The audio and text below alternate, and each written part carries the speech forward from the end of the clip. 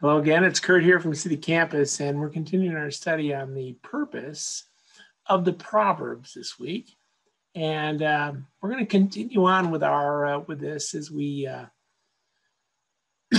continue to look at why the Proverbs exist and how we are to use them as people.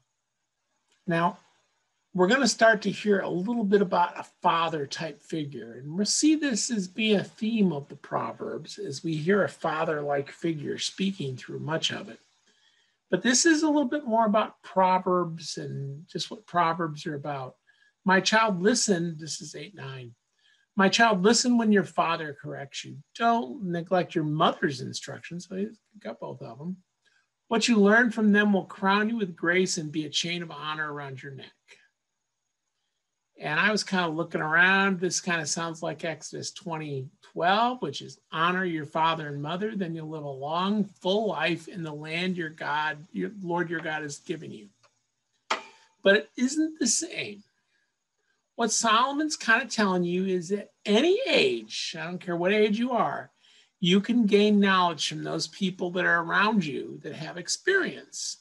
And those people might be older, younger, you know, I mean, it's fathers and mothers are kind of these experienced people, these these people of experience. It might be your father, it might be your mother, it might be surrogates for them. Um, you know, Jane Hall was a great mother figure for me um, that I knew long after my mother passed away. Um, you know, I've had other mother and father figures. Bill, for example, has also been a father figure to me. Um, Rich Winson, uh, you know, um, Carl Summers, all father figures to me. Even you know some some of the ministers and stuff that I've that I've worked with. Um, George Trueblood, great father figure to me. Uh, Paul tells us about this whole process in Ephesians 6, 2 and 3. It says, Honor your father and mother. It's the first commandment with a promise. If you honor your father and mother, things will go well with you and you'll have a long life on the earth. And that's a big part of the purpose of Proverbs gaining insight from those who have wisdom. And if you do gain insight from those who have wisdom, well, you've probably got a better chance of having a long life on the earth.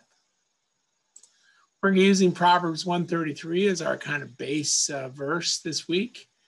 All who listen to me will live in peace, untroubled by fear of harm. And again, as we mentioned, doesn't mean you're not going to have fear or harm. It just means you're not troubled by it. And uh, that's a different process. Parents are not always perfect, you know. And I think the Bible recognizes that too. It mentions several terrible parents, lots of good example. Um, even people who we think of as being positive, like Eli or Samuel, became relatively bad parents. Even um, even uh, Aaron had some issues. So, uh, but there's other fathers and mothers acting as figures towards kids. So I think they're worth looking at. So find those experienced people around you that can give you insight. And of course, you can read the read the proverbs. They'll give you plenty of that too. Let's pray.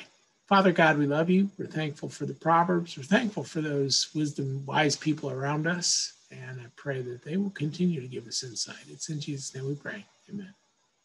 Guys, have an amazing day. And uh, we'll talk to you on Thursday. See you later. Bye.